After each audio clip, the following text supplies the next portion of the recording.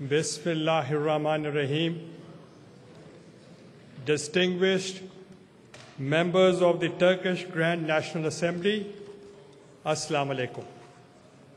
I feel honored and privileged to address this august house today. The Turkish Grand National Assembly, since its inauguration 90 years ago, has been a symbol of modern Turkey, path to greatness. This elegant building and its distinguished occupants embody the hopes and aspirations of 72 million proud Turkish people. As an elected representative myself, I fully recognize the importance of today's historic event and gratefully acknowledge this special honor bestowed upon me.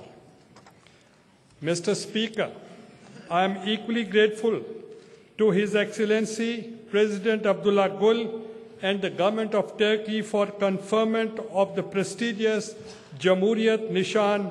I feel honored to receive this award.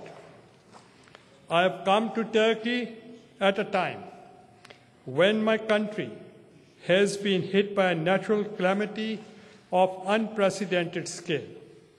The worst floods in our history have affected over 20 million Pakistanis. Mr. Speaker, in this tragic disaster, our resolve was strengthened, our spirits were lifted, and our hopes were revived by the extraordinary solidarity, support, and generosity shown by the people of Turkey. The warm feelings of amity and concern were expressed across the length and breadth of Turkey. From the Turkish children to the highest leadership, from the young student from Konya who donated her doll and her entire pocket money to the retired old man who gave away his entire pension, we were touched. Heartwarming episodes have etched an indelible mark in our memories. They are yet another confirmation of the special relations between our two people. I therefore stand here today overwhelmed. Mr. Speaker, through you and this august House, I wish to convey to the people of Turkey sincere thanks and profound gratitude of the entire Pakistani nation. Mr. Speaker, Tur- Turkish civilizational imprints runs deep from the heartland of Europe to the steppes of Central Asia, from the banks of the Indus to the deserts Arabia of Arabia, Turkish culture and customs, languages and literature, ideas and ethos have defined golden eras. Turkish people and civilization has contributed immensely to mankind's march across new frontiers of thought and action, new vistas of spirituality and science. Since time immemorial, the great Turkish people have made great conquests, founded great empires, and scored historic achievements in every field of human endeavor. Our culture and civilizations have germinated from centuries of intense, mutually enriching interplay. We are proud is to a profound common heritage. No wonder then that Pakistan Turkey relations are so special. It is a relationship predating our modern states and affinity transcending generations. Our people's affection for Turkey is spontaneous.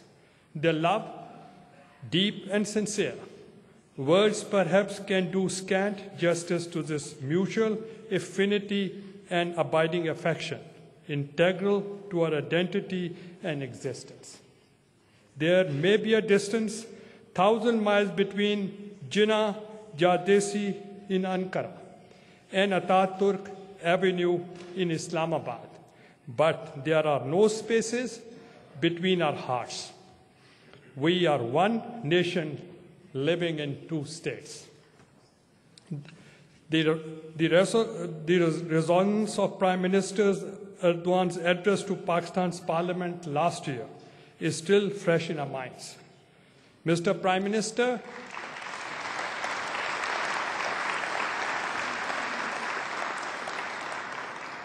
Mr. Prime Minister, as you have mentioned at that time, we also value these times tested bonds and the extensive cooperation which we have in the fields of trade, commerce, defense, and security, energy, infrastructure development, education, and culture. Pakistan wishes, wishes to take these relations to an even higher plane. We aim to transform our special relations with Turkey into an enhanced 21st century partnership in the political, security, economic, and cultural domains. I look forward to co-chairing with Prime Minister Recep Tayyip Erdogan an inaugural session of the High Level Cooperation Council HLCC this evening. I'm confident that HLCC will prove an effective forum to achieve our shared objective. The first meeting of the HLCC will focus on giving a fresh impetus to our economic relations and translate our excellent political relations into more tangible gains in the trade, investment, and commercial fields for mutual benefit of our people. I am confident that we shall far exceed the target of $2 billion bilateral trade by 2012, the target set by Prime Minister Erdogan and myself last year. Mr. Speaker, the collaboration between our two parliaments is also vital for our two democracies. There is, therefore, a need to intensify cooperation through regular exchange of parliamentary delegations. Here, I would especially like to acknowledge the excellent role played by the strong Pakistan Turkey Parliamentary Friendship Group led by energetic Mr. Burhan Kayaturk for forging closer linkages between our two parliaments. Mr. Speaker, I congratulate Turkey for embarking upon a comprehensive constitutional reform process for strengthening its democratic institutions. I admire the Turkish leadership for evolving a national consensus on this important issue. We also greatly admire the spectacular achievements made by Turkey under the dynamic leadership of President Gül and Prime Minister Erdogan. We are indeed proud that Turkey today stands tall in the global arena and is widely respected for its valuable contributions to regional and global peace and development. We in Pakistan rejoice in your successes. We regard your strength as our strength. In Pakistan also, my government, through a landmark constitutional amendment bill, which enjoyed support of all political parties represented in the parliament, has started a reform process in accordance with the priorities and aspirations of the people of Pakistan. The supremacy of the parliament has been restored. We remain committed to the ideals of democracy, freedom of expression, and protection of fundamental human rights, and the creation of a just welfare society as envisioned by our founding fathers. Mr. Speaker, Pakistan's strategic priority is, of course, socio-economic development. We have undertaken a process of far-reaching economic reforms. We are also engaged in promoting intra-regional and trans-regional development cooperation. The central theme of that runs through our foreign policy. Indeed, the format of the HLCC is to develop win-win scenarios and strong economic and trade partnership with Turkey.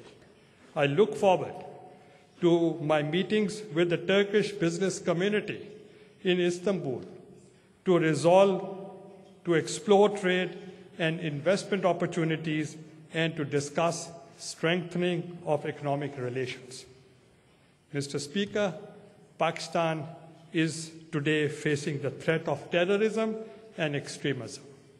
Our citizens and valiant soldiers have rendered countless sacrifices in this fight against terrorism.